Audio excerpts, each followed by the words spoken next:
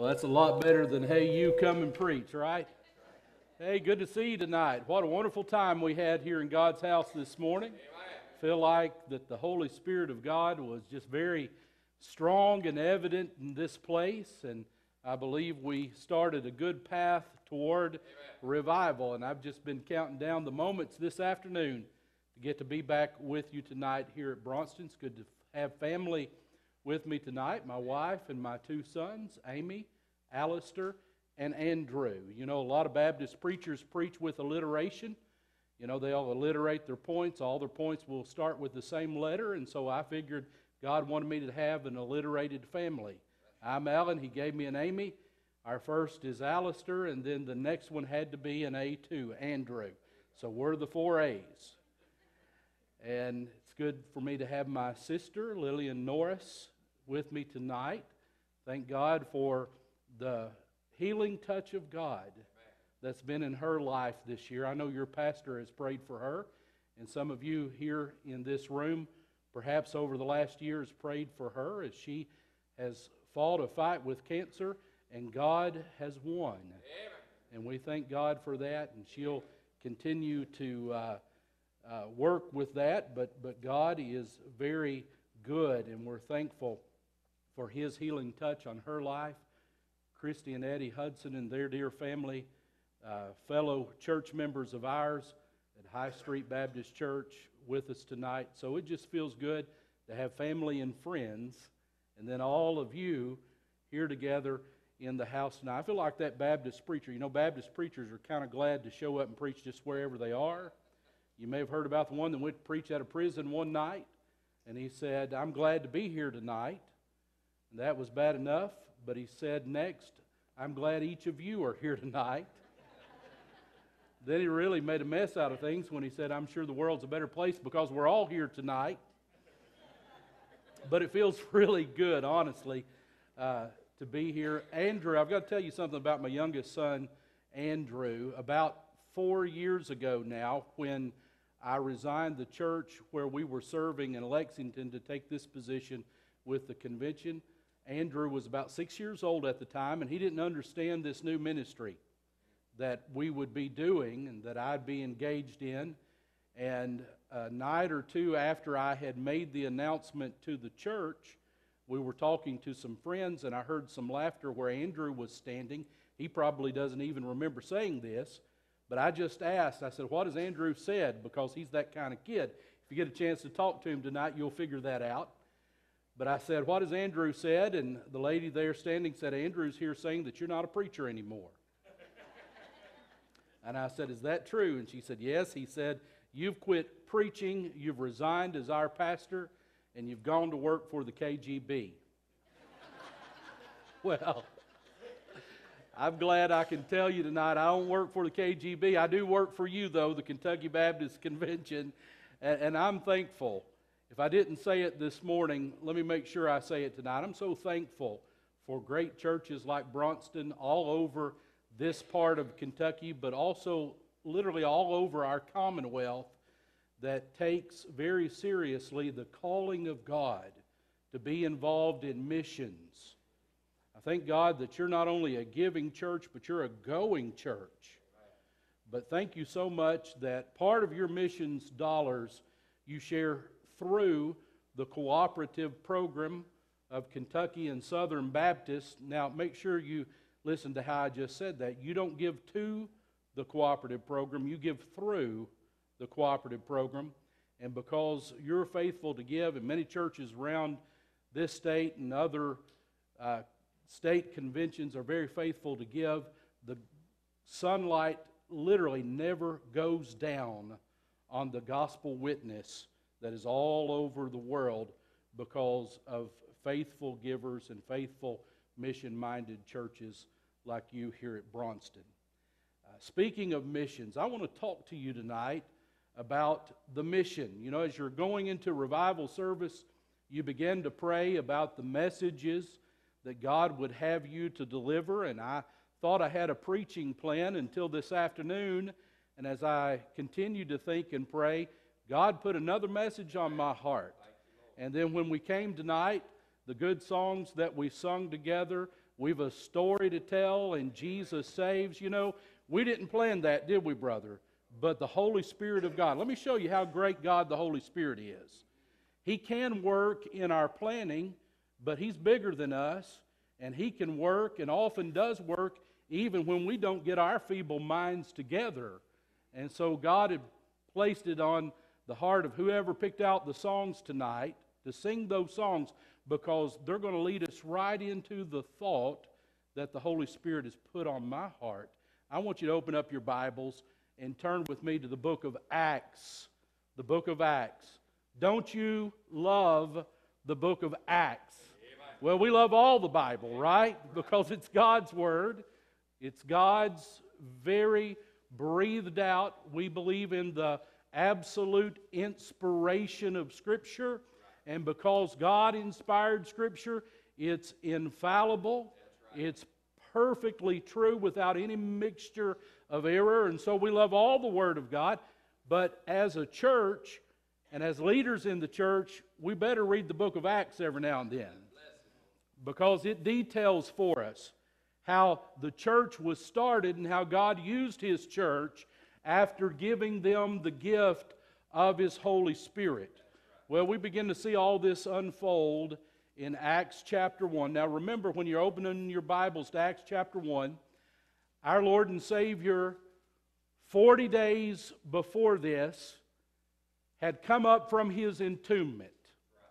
We're thankful tonight that we do not serve a crucified Jesus. Now, we serve a Jesus who was crucified and who was buried, but thanks be to God, on the third day, he rose again. And after his great resurrection, the Lord Jesus spent 40 days upon this earth proving his resurrection to many, many people. He would meet with people one on one, he would meet with people one on two, he would meet with the apostles, and then he would meet with a crowd of over 500 brethren, the Bible says, just showing the world and leaving an historical record that our Lord and Savior Jesus Christ is alive. Amen. And so, post resurrection, those 40 days, he spent proving his resurrection, giving some final details, some final instructions for his church as they would go out to do his mission. And then he gathers them together at about that 40th day out in Bethany, out on the eastern slope of the Mount of Olives.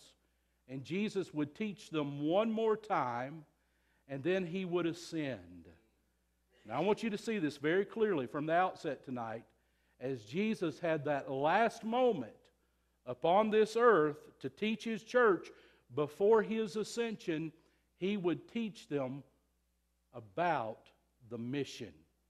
So I want us to think about the mission tonight. If you would not you're able, would you stand with me as we read together of God's Word? Acts chapter 1, beginning in verse 6. Just to get the full details, we'll read down through verse 11, but pay very close attention to verses 6 through 8. We'll walk through those together tonight. Bible says, Acts chapter 1, verse 6, when they therefore were come together, they asked of him, saying, Lord, wilt thou at this time restore again the kingdom to Israel? And he said unto them, It is not for you to know the times or the seasons which the Father hath put in his own power, but ye shall receive power after that the Holy Ghost is come upon you and you shall be witnesses unto me, both in Jerusalem and in all Judea and in Samaria and unto the uttermost part of the earth. Now look at these final details.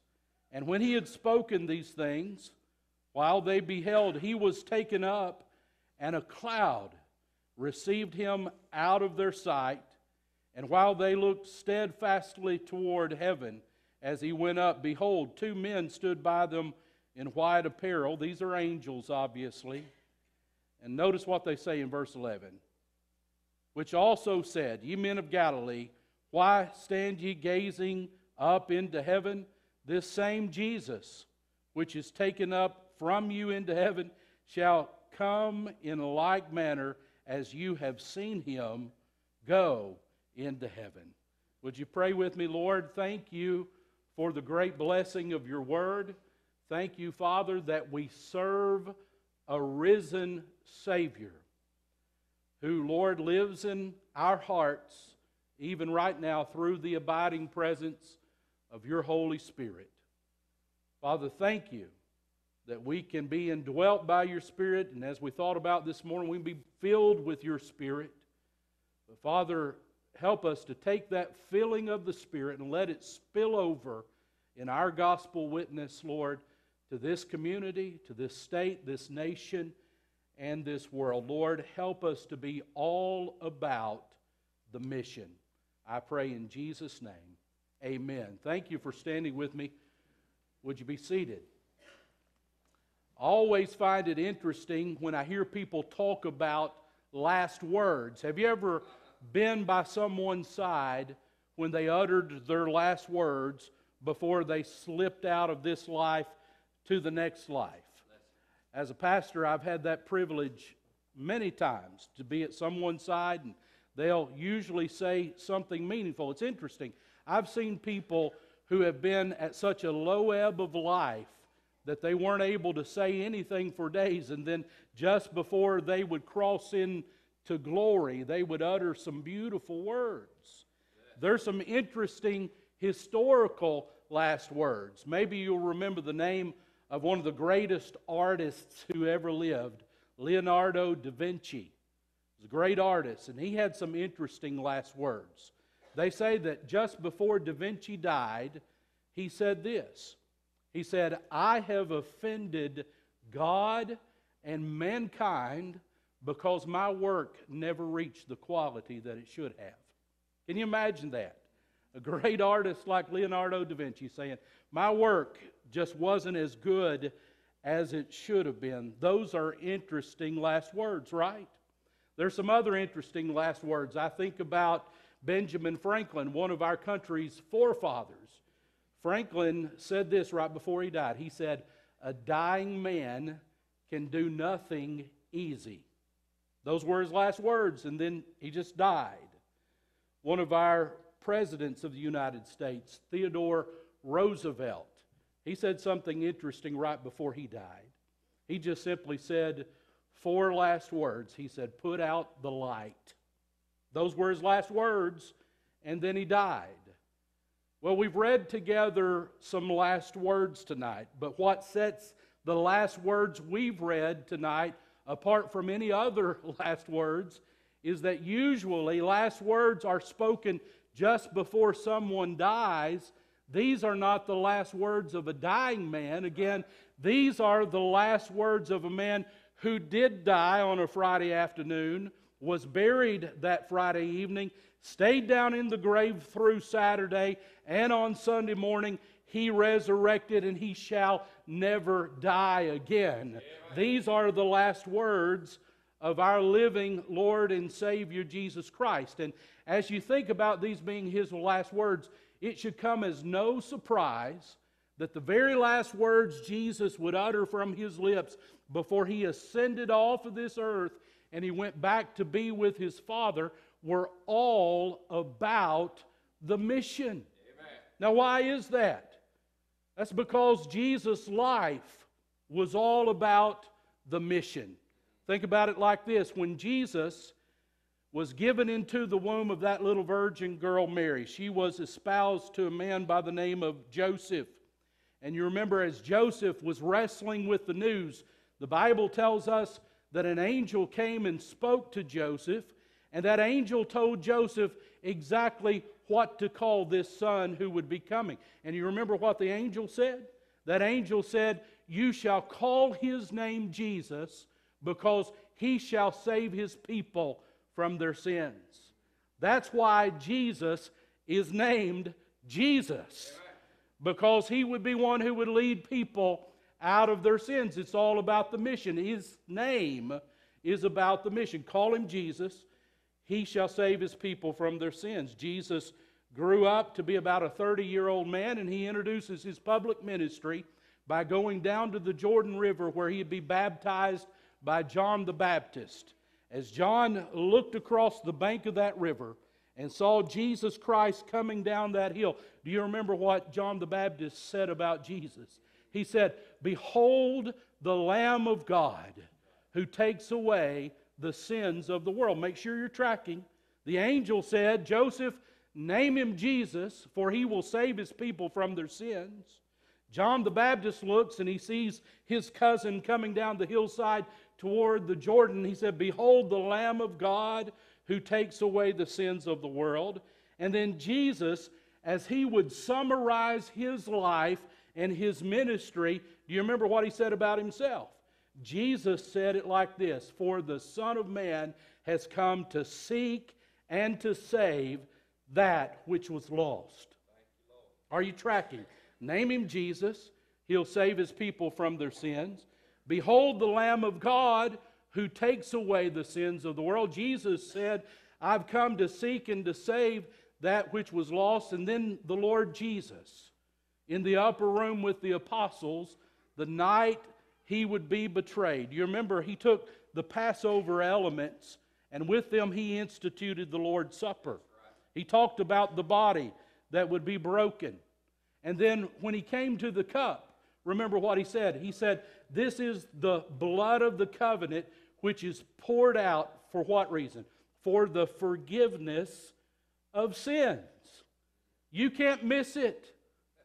All through his life, his very name, the introduction of his public ministry, the summary of his mission, and before he goes out to face the cross, over and over and over again, the New Testament makes it very, very clear Jesus came to save people from their sins. So it should come as no surprise as the Lord can say one last thing to the apostles. And as the Lord could leave one last set of instructions for us, His church, it should never ever surprise us that it should be all about the mission. Now, make no mistake, His mission is to save people from their sins. And listen to me, folks. If we're followers of the Lord Jesus Christ and we dare to call ourselves a Christian church, should not His mission be our mission? Amen. If it was Jesus' mission to preach the gospel and, and lead the captives out of captivity and to tell people the good news of God through His blood, if that was His mission, it's our mission. But may I tell you tonight that the church these days is often sadly mistaken about its mission. Several months ago, I was reading an article in Outreach Magazine written by Greg Laurie, and Greg Laurie quoted some research that had been done just before that. Some researchers had, had, had uh, given a questionnaire to a thousand church members, which they thought was a good sampling from all different types of churches different denominations of churches from across America. And a part of that questionnaire was this interesting question. Now, here's the question that I find most interesting. They asked those thousand people across America, why does the church exist? That's a good question, isn't it? We need to ask ourselves that. Bronston First Baptist Church, occasionally, you need to ask yourself that question why do we exist as a local manifestation of His church? Why has God placed us here? And then the church universally needs to ask that question. Why are we here on this earth? Why does the church exist? Well, in this survey, when they asked that question, I want you to listen to this. 89% of those who responded to that question, you know what they said?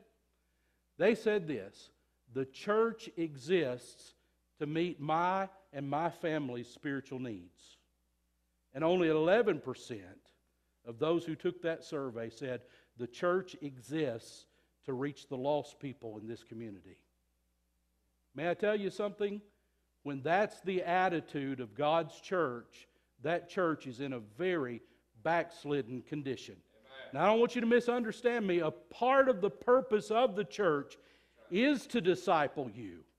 A part of God's purpose and plan for His church is to come alongside you and help meet some spiritual needs in your life. But when you get to the place that you think the church is all about you, you're sadly mistaken. Uh, you have developed the kind of false ideology that I talked about this morning. You, you have decided that the church is yours and it's all about you. Remember what we said this morning? This is not your church. This is God's church. And God's purpose for His church ought to be your purpose. God's purpose for His church is to reach those who are lost, who are dying. And let me remind you not only are they dying a physical death, but they're on their way to a spiritual death in an eternal place called hell. And our purpose is to be God's purpose, and that is to reach the lost who are around us. And so I hope you're asking yourself a question at this point How can I be an on mission Christian? How can I be a purposeful Christian? I think we'll have revival. If we'll do what God shared with us this morning, if we can give our lives over to a fresh feeling of His Holy Spirit, and then if we can link that with being on purpose with Him, I'm telling you, you'll be amazed at what God will do right here at Bronston through the work of this church.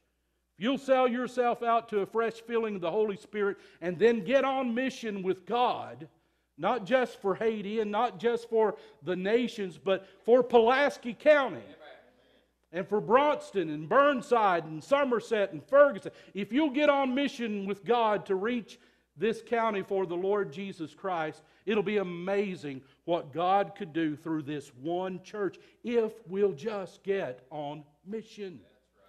So, how is it that we live our lives as on mission Christians? I want to challenge you to be on mission. I'm preaching to you to church tonight. Then tomorrow night, you come back and you bring a friend with you that's lost, and we'll share the gospel. But I'm here to tell you revivals for the church. And a church that needs to be revived is a church that needs to get on mission. So, how do I be an on mission Christian? Well, if you want to be on mission, number one, let me share with you tonight you cannot allow Satan to distract you from the mission. If you're going to be on mission, you can't be distracted from the mission. Look again at verse 6. And I want you to see the apostles' question here in this verse. They come up to Jesus, and again, get the picture in your mind. Here's Jesus. He has spent about 40 days on the earth. They're gathered together there on the Mount of Olives. He's, he's about to ascend, and they come to him. And sometime before this, remember this, Jesus had met on another mountain with them over in Galilee, and he had given them the Great Commission. And now they come up to him and they said, Now, Lord, in verse 6, wilt thou at this time restore again the kingdom to Israel? Now, why did they ask that question? You need to remember this. Many of those who followed Jesus initially were looking for a political Messiah.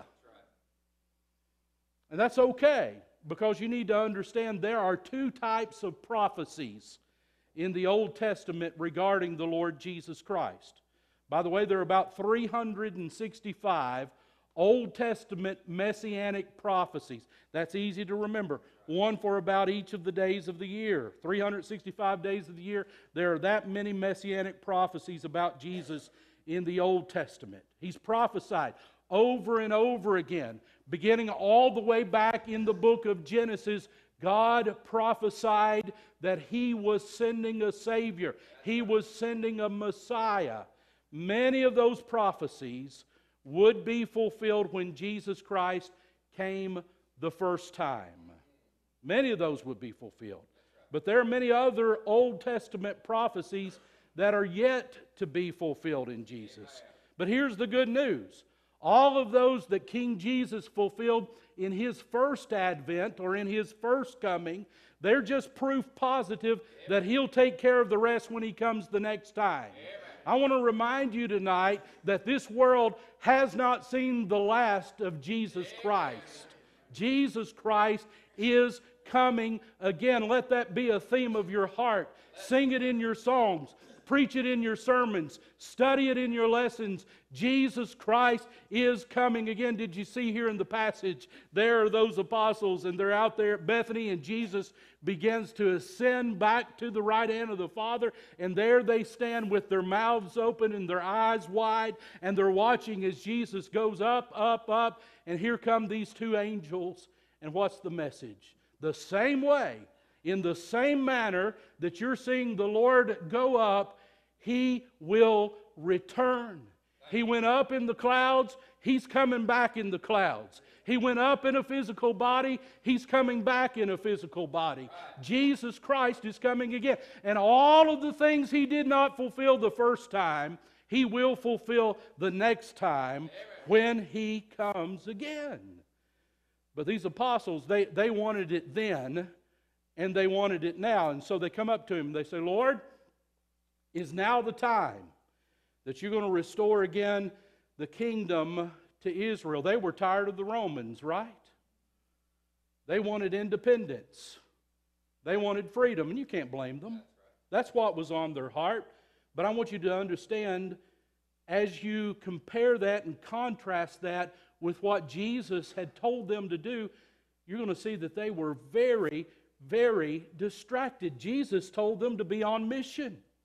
Jesus told them to share the gospel and to make disciples, but they wanted to know, Lord, are you going to take care of the Romans right now? But notice how Jesus redirected them in verse 7. Jesus basically said, Fellas, this is none of your business. Notice he says in verse 7 it's not for you to know the times or the seasons which the Father has put in his own power. Aren't you glad tonight that we don't have to know everything? I don't need to know everything. If I tried to know everything, it would just blow up this little mind that I have. And, and when it comes to the second coming of Jesus, I want you to hear me. We need to know that He is coming again, and we need to know that we're to be prepared to see Him when He comes again. But regarding exactly when it's going to be, you remember what Jesus Himself said? Jesus said that He didn't know, nor did the angels of glory, only the Father knew. And so Jesus said to those apostles, It's not for you to know when I'm coming again. It's not for you to know when I'm going to come and, and take care of the Romans. By the way, when he comes the next time, he's not going to just take care of the Romans, is he? He's going to take care of all things. He's going to set the record straight, amen. He's going to make all the wrongs right. Are you going to go home tonight and waste time watching that debate? I, I probably will watch some of it, but I'm, I'm glad that I can remind you tonight that the hope of this world isn't in a Clinton or a Trump, but the hope of this world is in King Jesus. Amen. And when King Jesus comes again, he's going to take care of all things. But he looks at those apostles and he says, It's not for you to know right now. Just trust God. God says that a lot of, about a lot of things we go through in life, right? A lot of times we have questions. Lord, why am I going through this? Or why is my loved one facing this issue in his or her life? Or God, why do you let bad things happen to seemingly good people? I'm glad that I can tell you in the words of the old song, we'll understand it better by and by. God's going to take care of things.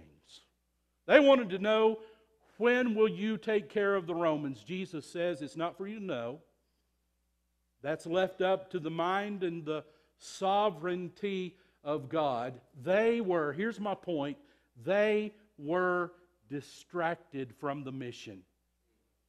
A better question would have been Lord, you've given us the Great Commission. Lord, you've told us to go throughout the world and to preach the gospel and to baptize in the name of the Father, the Son, and the Holy Spirit, teaching them to observe all things that you've commanded us. Lord, how do we do it? That would have been the good question, but they were distracted. You'll remember this a little over a decade ago. We became, as Americans, very acquainted with the phrase weapons of mass destruction. You remember that? Uh, we waged war looking for weapons of mass destruction. May I tell you tonight that Satan has levied against God's church right now not weapons of mass destruction, but weapons of mass distraction. We get distracted and all the silly things that occupy our thoughts, the worthless things that we get carried away with. I work with churches all the time, and I told you a little bit about that this morning. Some get carried away with, with music styles, some with other generational choices.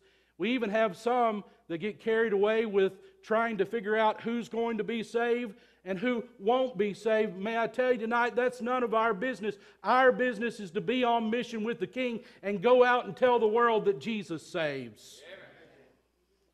While we're distracted, people are dying and people are going to hell. Here we are in Pulaski County, Kentucky, and about 18.9, so let's just call it 20%. According to the latest research, about 20% of our county, and by the way, we're in the group that's the most reached counties, among the most reached counties of the state. But think about this only about 20% of Pulaski County goes to church any Sunday. Only about 20%. And that's what the research tells us. But you begin to add all that up, and in our county of about 65,000 people, if only 20% go to church, you come up with that number and then you try to count them in the congregation. I'm here to tell you, you'll have a hard time counting that many in church. Bottom line is this while we live in a supposedly reached county, most of our fellow countyans right here in Pulaski County are lost and dying, and they're going to hell, and we're playing games in the church. We're distracted.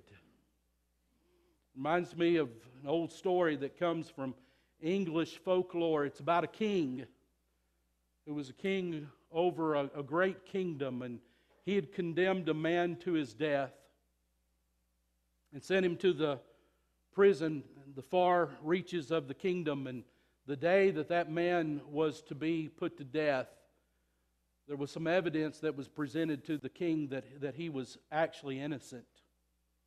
So the king weighed the evidence and he said, I've got to do something about this and I have to do it quickly because he's going to be put to death today. And so he wrote out a pardon and rolled it up in the scroll and, and found his best page. And he put that page uh, the, the, that scroll in the page boy's hand, and he said, Son, get on your fastest horse and take this as quickly as you can to the other side of the kingdom because this man's going to be put to death today if the warden doesn't get this pardon. So the little boy, the page boy, was excited. He, he finally had a mission from the king. And he tucked that little scroll down in his cloak and, and he got on top of that horse. And as swiftly as he could, he started riding that steed to the other side of the kingdom, and on his way there, his mind began to wander and he began to think about that prisoner. He said, You know, that prisoner's been over there for years. Certainly, when he's released, he'll want some better clothes to wear on his way home. So he stopped, and it took a certain amount of time for him to buy a new set of clothes to take to that prisoner. Got back on the horse, and then he began to think about food. He said he's been eating prison food all these years.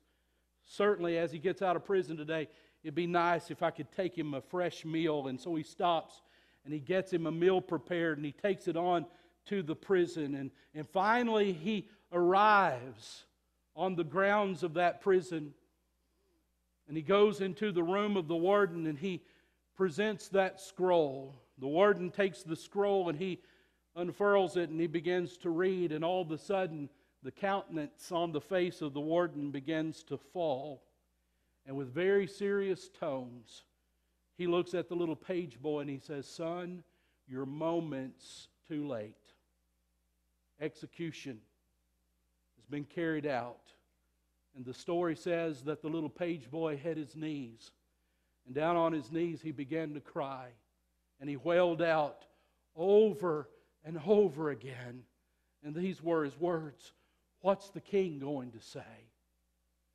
He would cry it out over and over again What's the king going to say? What's the king going to say? May I tell you tonight, the King of Kings and the Lord of Lords has granted to us the good news. We're, we're clay vessels, but in these clay vessels, He's placed the gospel. And our commission is to go throughout the highways and the byways and to tell lost women, men, and boys and girls that there is a Jesus that saves, but the hour is getting late. And while we're distracted in the church, and while we're fussing about this, and while we're feuding about that, people in Pulaski County are lost and they're dying, and every day they're going to hell. And I just wonder what's the king going to say? If you're going to be on mission, don't be distracted, Bronston, from the mission. Don't be distracted from the mission. If you're going to be on mission, you can't be distracted from the mission. But secondly, you've got to rely on the power for the mission. I love what Jesus says in verse 8. But ye shall receive power after that the Holy Ghost has come upon you, and ye shall be witnesses unto me. Listen, if Israel was going to be restored, if they were going to be led away from the Romans, if the Romans were going to be defeated, those apostles were going to need Caesar's kind of power, but that wasn't their mission. The mission was to win the world with the gospel, and to do that, they would need a power that was even greater than Caesar's power. They were going to need Holy Spirit power. And I want you to see the command is in what we talked about this morning. The command is for us to be filled with the Spirit, but watch this simple statement of fact when you're filled with the Spirit, or in other words, when the Holy Spirit has come upon you, you shall be my witness. See, we get this thing all wrong. We think if we can just memorize certain scriptures, at that point we can be the witness that God wants us to be. Now, that certainly wouldn't hurt, but that's not all that's required, and it's only a very minor part of what's required. Let me tell you, when you'll be the witness that God wants you to, that God wants you to be, that it will start at the point when you're relying on God the Holy Spirit. That's what we need to be the witness that God's called us to be. Listen, if you know John 3:16 and you have a personal testimony, you get filled with God the Holy Spirit and you'll be the witness that God wants you to be. Just look at the life of the apostle Peter. I love to think about Peter and who he was before the cross. You remember that. Peter's the eager beaver apostle, right? I read a book some years ago that was entitled 12 Ordinary Men. John MacArthur wrote it.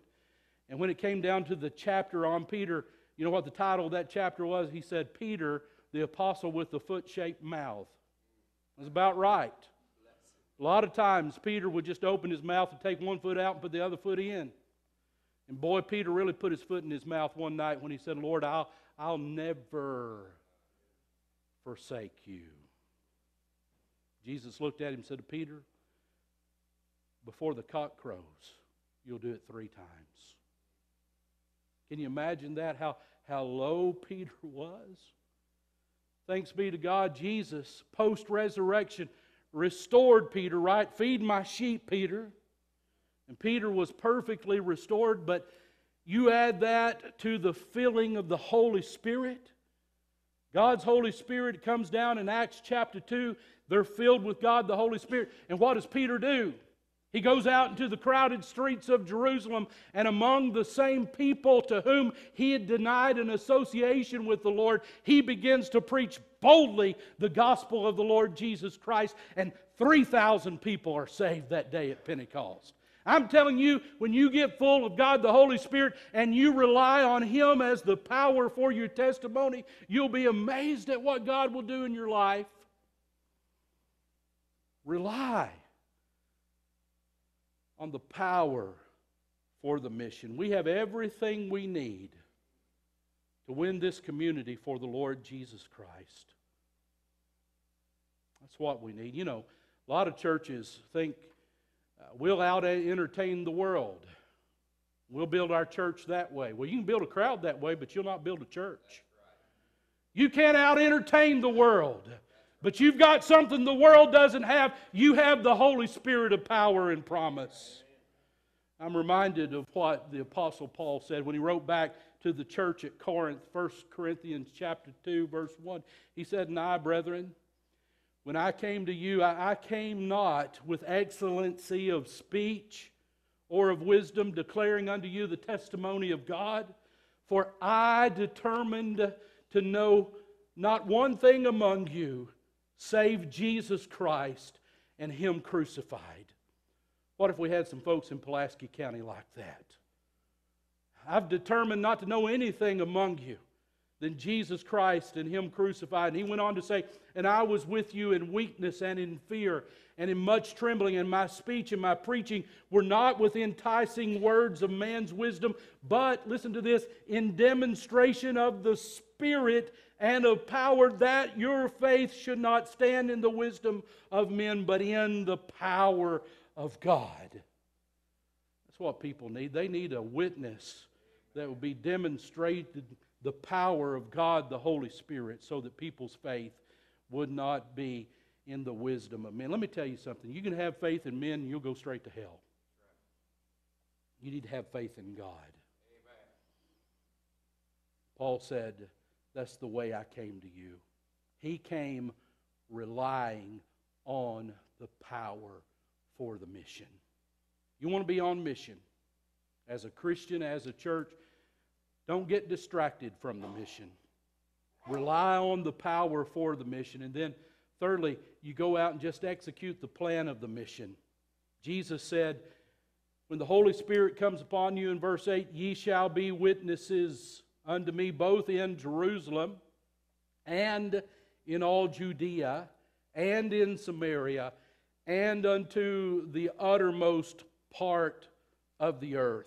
We've dealt with that verse so many times that it seems commonplace.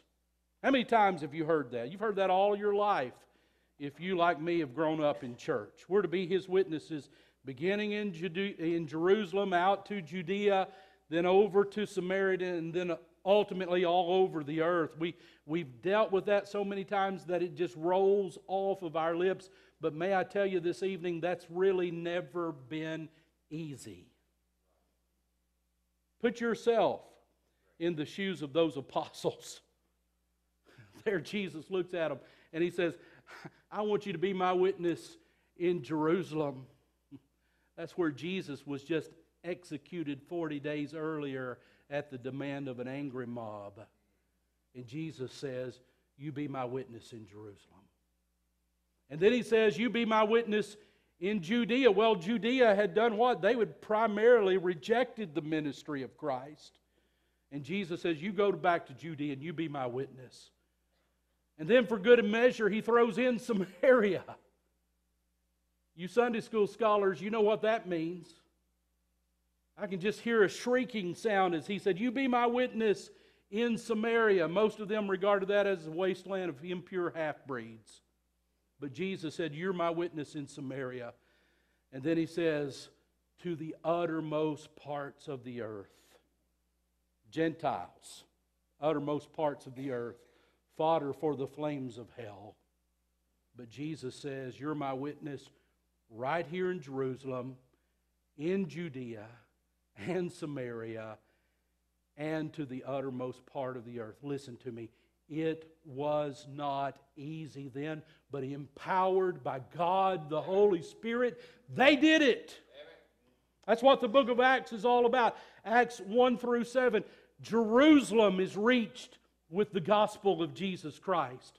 Acts 8 through 12, Judea, Samaria, reached with the gospel of Jesus Christ. Acts 13 all the way through 28, the uttermost parts reached with the gospel of Jesus Christ. And there's old brother Paul receiving the Macedonian call. And aren't we thankful for the Macedonian call? He receives the Macedonian call and he takes the gospel from one continent into the next continent. The gospel moves from Asia into Europe, ultimately to that continent where our forefathers would hear about Jesus. And here we are in the United States of America tonight because there were a band of believers who came and founded a new nation where they could worship God according to the dictates of their heart and not according to the dictates of a king. Why? Because of the Macedonian call. Wow. It wasn't easy then. And can I tell you, lay aside the uttermost parts, lay aside Samaria, lay aside Judea for you and for me. Jerusalem has never been more difficult. Brother Johnny, am I right? It has never been more difficult to share the gospel right here than it is right now. Never been more go- difficult. Gospel hardened. And listen to me tonight. I'm optimistic because I pray for revival. You need revival. I need revival. America needs revival. Amen. But hear me tonight if revival tarries, it's not going to get easier. It's going to become more and more difficult. If you don't hear anything else I say tonight, I want you to listen to this before I close. The days of cultural Christianity in America are over. They're over. And it's going to be harder and harder to live the Christian life. I don't worry about me so much because most of my life is lived. That, that seems odd for me to say because I think I ought to still be about 18 years old. I love Brother Johnny's way of thinking about age, don't you? But I feel like I ought to be a 20 something year old, but I, I'm not. And there's more life behind me than there is ahead of me. There really is. There's more sermons behind me than there are ahead of me. I don't worry about me so much, but I think about our children. And we better pray for our children. And if you love the children of this community and you love the children of America, you better be on your knees praying for revival. We need revival. God send Holy Spirit revival on America. But if revival tarries, it is not going to be easy. But hear me, there is no plan B. Either the church takes the gospel or the gospel won't be taken. Either you and I engage the mission or the mission won't be engaged. Listen, the answer is not in Washington. The answer is not in Frankfort. The answer is not in the courthouse over in Somerset. But the answer for the ills of our community lies within our hands. It's the glorious gospel of the Lord Jesus Christ. It's the mission. It's the mission. It's the mission to which we've been called. And if things are going to change in America, Baptists, we better engage the mission. Wouldn't it be like the old Marine. Do I have any Marine Corps veterans in the room tonight? I know Brother Carter is a great veteran. Others of you are veterans of other armed services. Something about a Marine, though, you know. Marine Corps, when it was founded about 200 years ago, they looked high and low for the motto. What's going to be the motto of the Marine Corps of the United States of America? And finally, they found a good one. The old Latin expression, semper fidelis. They've shortened it over the years to the point now you can look a Marine in the eye and say, Soldier, what's your motto? They have a way of saying it Semper Fi. Semper Fi.